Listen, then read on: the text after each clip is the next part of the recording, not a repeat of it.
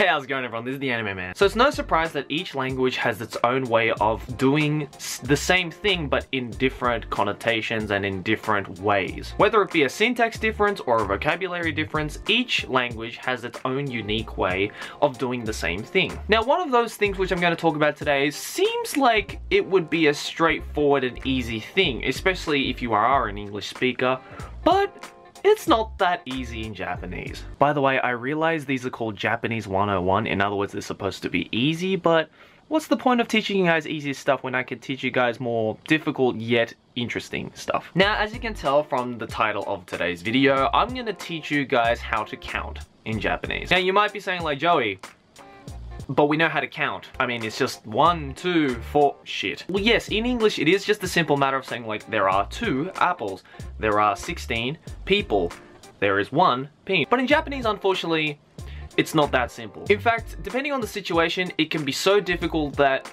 not even native Japanese speakers and native Japanese people understand 100% how it exactly works. So today I'm going to tell you guys just how difficult it is in fact to actually count in Japanese.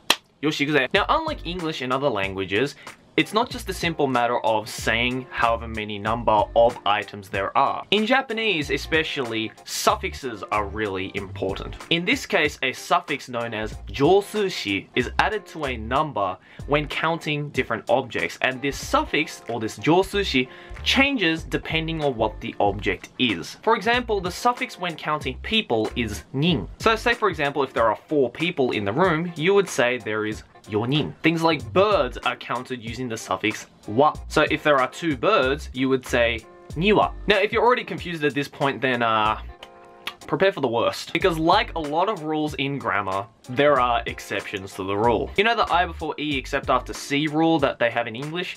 It's funny because there are actually more words in the English language that actually break that rule rather than follow it. And it's also the same thing concerning these josushi suffixes. Now most of these suffixes when counting things usually have to do with the kanji that corresponds to it. For example, we use the suffix nin when counting people because the kanji that is used for nin is the kanji that is used for people. Makes sense. Same thing with the birds as well. We use the suffix wa because the kanji for wa can also be read as hane, which means feather. And since birds have feathers, again it makes sense. But it can also be used to count rabbits and butterflies. Yeah, a suffix meaning feather can be used to count animals that don't have feathers. Figure that shit out. Another example of this is the suffix hon. Now usually the suffix hon is used to count objects that are usually long and or narrow. Long stick-like objects, you know, things like umbrellas, bottles, spears, arrows, all use the suffix hon. But the suffix hon can also be used to count completely non-long or narrow things like movies, letters, and wells.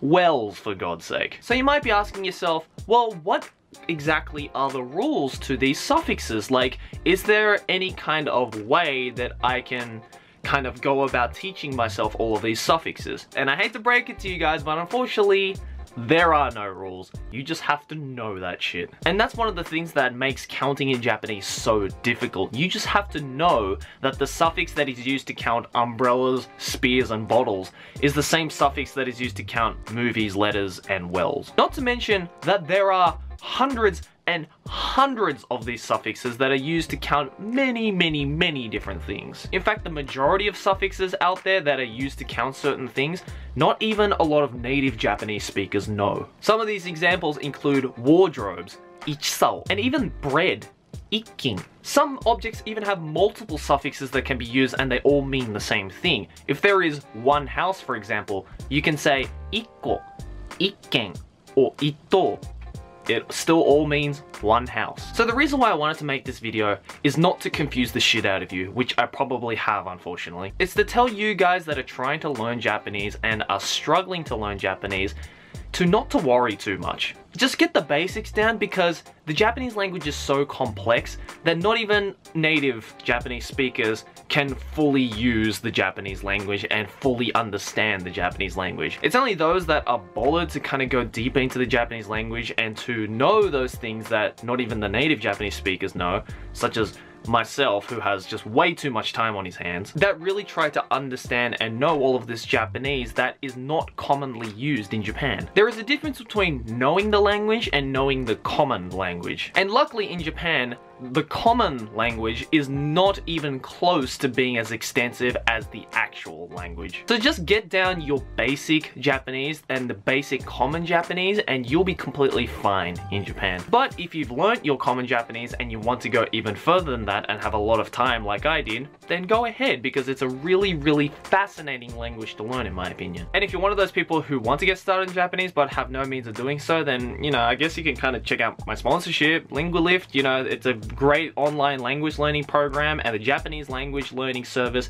is actually pretty decent in my opinion. So I guess check out that first link in the description below. Subtle advertisement. But anyways guys, I hope you learned something new about Japanese and if you are a Japanese learner, then don't give up.